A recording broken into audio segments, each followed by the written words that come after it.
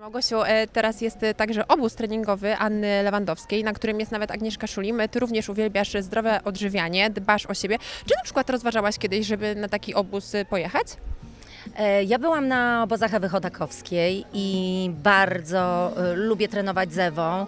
E, Jestem zresztą z nią w stałym kontakcie, nie zawsze udaje mi się trenować z nią na miejscu. W Polsce zresztą Ewa też bardzo często wyjeżdża, natomiast my mm, trenujemy się, że tak powiem, internetowo.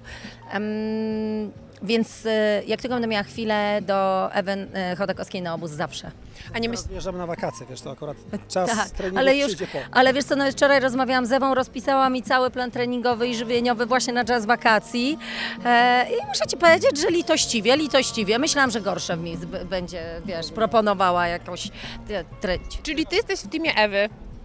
Ja jestem w teamie w ogóle każdej e, osoby, która e, rusza Polki, która e, powoduje, że kobietom chce się e, ćwiczyć, bo efektem ubocznym ćwiczeń jest naprawdę dobre samopoczucie, jest e, fajnie poukładanie w głowie i myślę, że każda z osób, która propaguje zdrowy styl życia, jest jak najbardziej potrzebna. A nie myślałaś, żeby na przykład e, stworzyć e, taki perfekcyjny obóz, gdzie mogłabyś e, uczyć również jakichś perfekcyjnych rzeczy?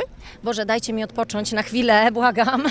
Dopiero wróciliśmy z pracy. Za sekundę chcemy teraz mm, z dziećmi pojechać.